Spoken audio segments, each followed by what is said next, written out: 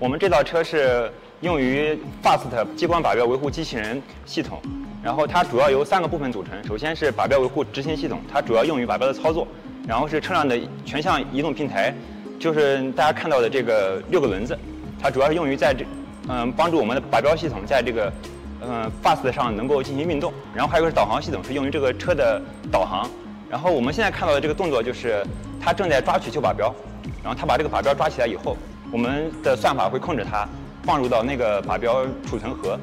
当这个旧的靶标被抓走以后，然后它又会进入到下一步，就是去把这个新的靶标，就是放在这里的新靶标，再插入到下面的靶标座上。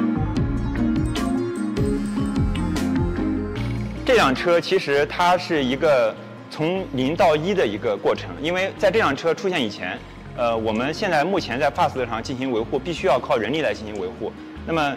在靠人力维护的话，我们都知道 FAST 它这个表面非常脆弱，然后如果用人去维护的话，非常的不安全。然后我们这个车完全可以取代人工，进行一个完全自动化的、自主化的一个流程，所以就大大提高了这个安全性以及维维护的效率。呃，现在这辆车它在它整个维护只需要十五分钟，如果用人去维护的话，需要六个小时的时间，所以就是说这个效率会很高。